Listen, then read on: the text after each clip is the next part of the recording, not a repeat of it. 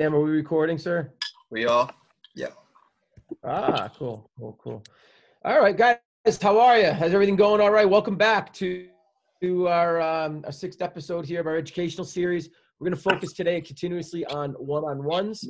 Um, we have Tony Elliott is back. Tony, hello. Hello, mate. How are you? Great to see everybody. My apologies for last week. I was a little bit under the weather, not feeling too good, but I'm uh, got a spring back in my step now, so I'm raring to go. Nice, nice, nice. Well, I think let's um let's start here. Sammy, if you could just share the screen with the PowerPoint presentation, please. Yeah, Tony's on that. You got me. Tony, there you go. You shifted it over. Yep.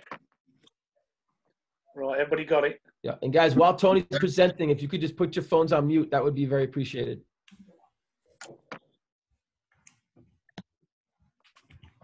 Right. Okay.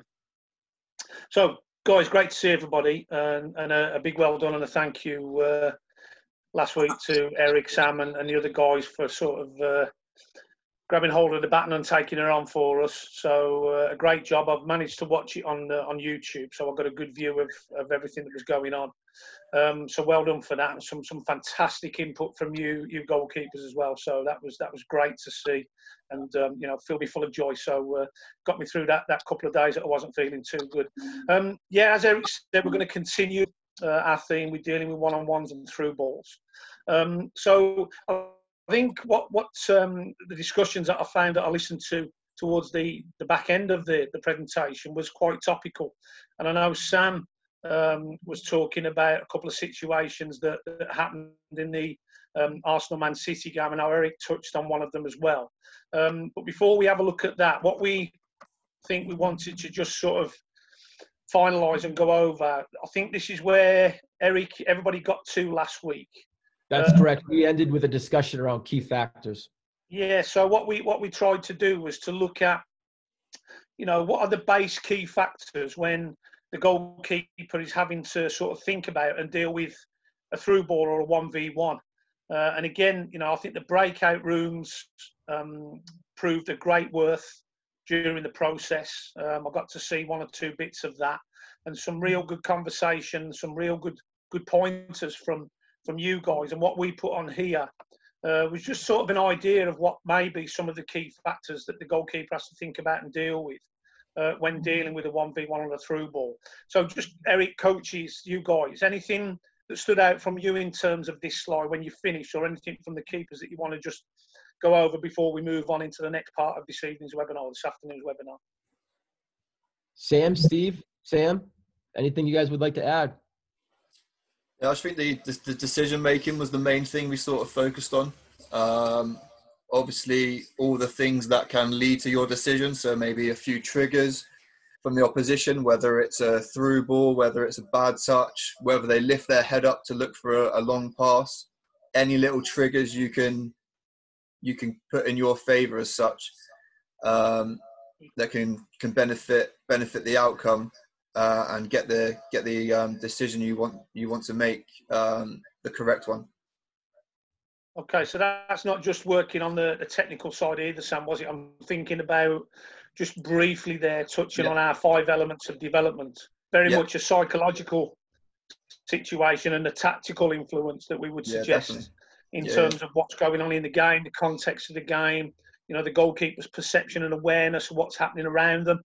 Um, Mhm. And that all affects, you know, the decision making process for them in these moments, doesn't it? Is that what you're referring to? Yeah, definitely. Awesome. Okay, brilliant. So I think what we because we, have got a lot to cram in again tonight, folks. So fasten your seatbelts. We've got a lot to do. Again, with the footage, um, there's no guarantee that it's going to flow smoothly. Um, so it might be that you, you try and grab as much detail from it as you can. Um, and then obviously we'll send you the files so that you can have a look at them in real time and get a, a real taste and flavour for them. So I think um, what we've also talked about, Eric, is not just um, yourself and myself um, leading all the time on these presentations. We want to try and get the other coaches, Sam, Steve, and the other Sam, uh, involved at times, and obviously Mark when he's with us. In, in, other words, getting their points of view across as well and sharing some of these presentations. I think that's what we discussed, haven't we? Yeah. Okay, so what we're going to do here, guys, Sam, I think you've um, you've uh, took the responsibility now. You you shared this with me and asked me to clip these together for you. So mm-hmm. what we're going to look at, guys, is two situations from the recent game um, in the EPL between Man City and Arsenal. The first one is a situation where um, Ederson deals with a long ball over the top from Leno, as you can see here, and he's defending the space and then we'll we'll talk about that, and then we'll go on to the next clip, which is um, about Leno in terms of um, defending the area and then conceding the goal, having made a decision that he did. So let's have a look at the the, the footage, and then we'll we'll work off you, Sam. Okay. Yep. Yeah.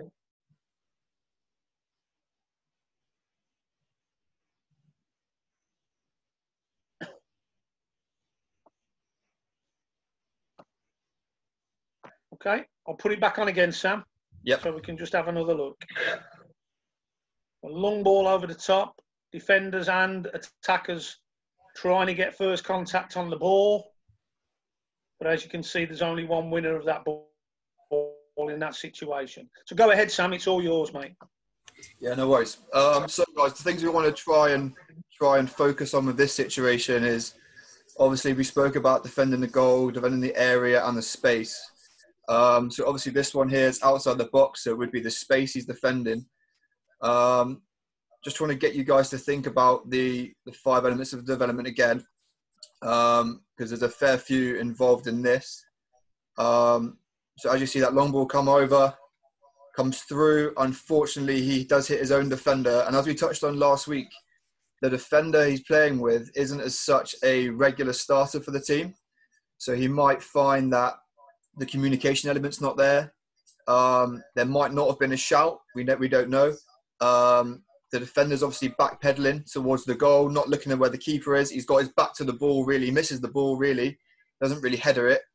And he's facing towards his goalkeeper. And obviously the goalkeeper then does does win it. Um, so the other things we're focusing on, as, as, last week we talked about that starting position. Uh, has he got his front foot forward? Um, as you can see, the time of the game, the, the, the situation Man City are in, they're 2 0 up. The other team are down to 10 men. Uh, I don't think Arsenal had one shot at goal in the whole game. So maybe the keeper's thinking, oh, I might want to try and do something here myself to get myself involved in the game. Um, so there's loads of little factors that that we um, that we can touch on. But I just want to get you. Have we lost Sam there? We have. Sorry, mate. I'm here. I'm just my my signal is rubbish here a minute. So yeah, guys, just getting your getting your thoughts involved in the in this situation if we can.